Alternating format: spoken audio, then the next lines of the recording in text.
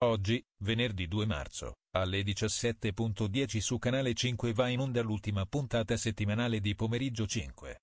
Ieri il programma condotto da Barbara D'Urso ha fatto compagnia a 2.529.000 spettatori con il 17.5% nella prima parte, a 2.762.000 spettatori con il 17.2% nella seconda, e a 2.535.000 spettatori con il 14.7% nella terza parte.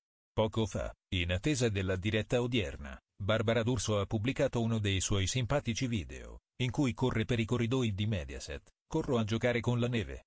Che tempo fa da voi?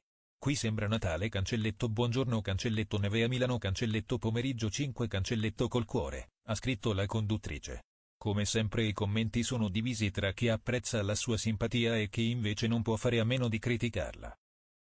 Nella puntata ieri di pomeriggio 5 è stato ricordato Alberto Castagna, il conduttore scomparso il 1 grado marzo 2005. Aveva un cuore davvero grande Alberto, un cuore che purtroppo lo ha tradito, ha detto Marco Balestri, suo amico e collaboratore nel programma Stranamore che lo ha reso famoso. La D'Urso ha mostrato le immagini di quando Alberto tornò in tv dopo il primo malore che lo colpì nel 1998.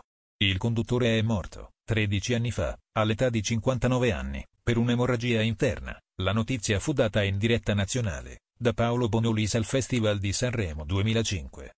In studio da Barbata d'Urso c'era anche figlia Carolina, oggi 26 anni, che si è appena laureata in medicina. Il giorno della sua laurea era con lei la fidanzata storica del conduttore, Francesca Rettondini.